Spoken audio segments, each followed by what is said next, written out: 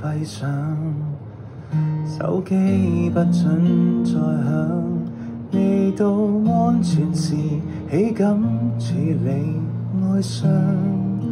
从泪腺累积的账，平日你没胆放肆声张，这夜你哭过够，让情绪通畅。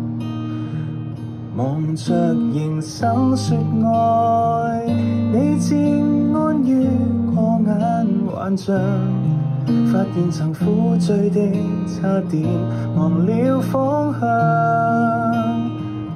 还未提起疾病饥荒打仗，你却慢慢给烟幕分散视线，令觉到缺乏了保养。麻木教你害怕，就去独处哭一回吧。谨记当今世界没童话，不应自勉着这样都不算差。还会痛哭，自算是人，难平时都已惯了吗？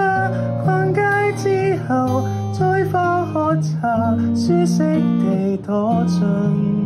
舒适圈也很可怕，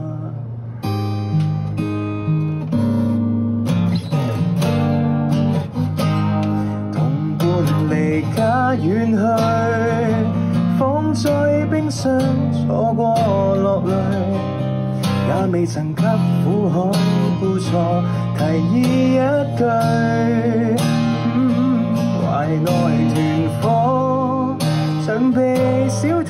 偷。去，你说活得这么累，不过夜里仍间中渴望会心碎。如麻木教你害怕，就去独处哭一回吧。谨记当今世界没童话，不应自勉着这样都不算差，还会痛哭。只算是人，但平时都已惯了吗？逛街之后再花喝茶，舒适地躲进舒适圈也很可怕。今晚找个地方去痛哭吧，装冷感装太迟，都应该放半天假。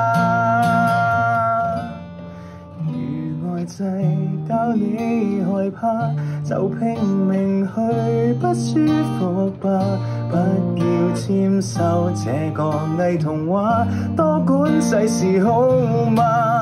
体温你有，但是没热情，有哪里像人？连流泪都要戒了吗？错失朝日，只等晚霞，一早被安葬。舒适，你甘心吗？